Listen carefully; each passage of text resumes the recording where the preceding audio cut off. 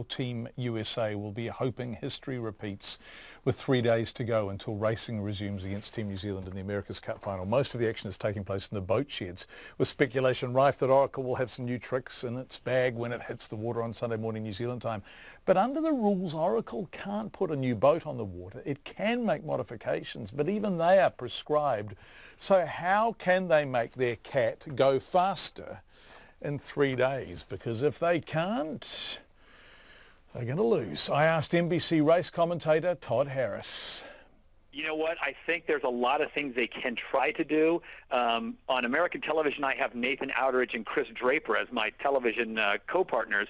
And I said, guys, can you really get that much done in five days? And they said there's minor incremental gains they can make but they said they need to make some major gains because the way it is right now, Peter Burling and Emirates Team New Zealand is just putting what we call a beat down on them here in Bermuda. They just do not have an answer. And what's amazing to all of us is the defenders of the Cup have not led one race so far in the America's Cup final. So we in New Zealand, of course, all remember back to San Francisco. Team New Zealand up 8-1. New Zealand took what was in yeah. hindsight a really ill-advised day off. Spithill and Oracle are tweaking like crazy. They come out with a boat that is just a completely different craft and they go from 8-1 down to win 9-8.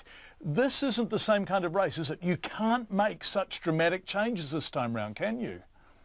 No, I don't think so. I, I mean, I could be wrong, John, but to be honest with you, I, I think the Americans came into this with a pretty fast boat as it was, but I think they've just gone up against an opponent who's just faster, and everyone thought that they were fast. Everyone knew the Kiwis are fast, but I think it's the way they're sailing so precise.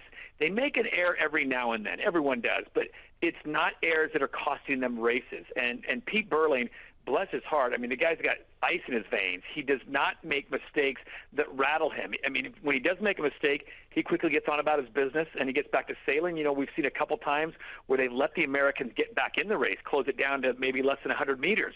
And then he's off and sailing. And, and what's so amazing about all this is he's doing this in the lead. You know, we saw him in the Challenger final facing off against Nathan Outteridge and Artemis of Sweden, and he was behind many times, but he found a way to put the pressure on the Swedes and force them into errors, and then he would pass them.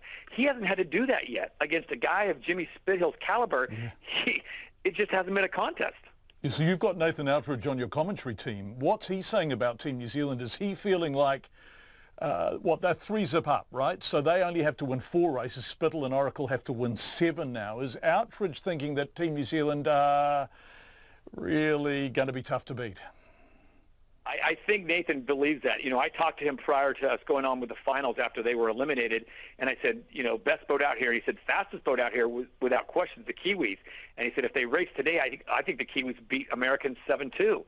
Um, and this was, you know, a week or Gosh. so ago. And I don't know if he would stick with that. He might say the the Kiwis are going to beat the Americans seven love because the way they're racing, it's just it's just no contest right now. And I don't see Pete making any mistakes so drastic that the way the Americans are sailing and the speed they're sailing at which, he's going to open the door that much for them. You know, we we were talking about it at dinner tonight, John, and we said, wouldn't this be amazing if the Kiwis win the two races this Saturday, they win the first race on Sunday, and then the last race on Sunday when they have a chance to clinch it, the Americans win one. Then I think you're going to get a lot of the uh, conspiracy theorists going, oh no, we've seen this movie again. Here we go again. I just don't. I don't see. I don't see Pete Burling getting rattled. When they win, they're about the same. I think heart rate is when they when they've lost in the past. It's just they go about their business. You know, Chris Draper had the funniest comment the other day about you good people down there. He said. He said that's about as emotional as they get. He goes, you got to work pretty hard to get a Kiwi to give you a high five. They just don't get that emotional about things, and and that's been maybe the best asset for Peter Burling. So Burling is sailing brilliantly, and I love your characterization of him. And everyone in New Zealand who knows him knows you're bang on the money. He just doesn't get rattled. But also, yeah. the design team and the building team have done something magic, haven't they, with that cat? Well, I think if it comes to fruition and the Kiwis win this thing, I think everyone's going to look back and go, they're geniuses because they were the last ones to come to Bermuda. So, you know, everyone has spies out there. They're spying on them down in Auckland, but they were the last ones to come up here, and they bring those cyclors. And I think initially people thought, oh, this is a gimmick thing. This is this. But you know what? As a cyclist myself, I know I can generate a lot more power with my legs than I can with my arms.